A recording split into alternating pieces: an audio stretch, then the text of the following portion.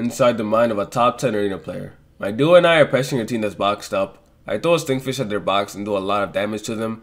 I know they're going to edit out the box and reposition because of the stinkfish, so I control the pieces on the left side of his box. I'm able to freely shotgun him in the back here because he can't place any builds behind him, give me this free knock. I go over to his body and notice that his teammate is in the box right next to me, so what I do is I act like I'm about to finish his teammate. What I actually was doing was waiting for him to edit. So as soon as he edits, I pump him in the head to finish up this fight.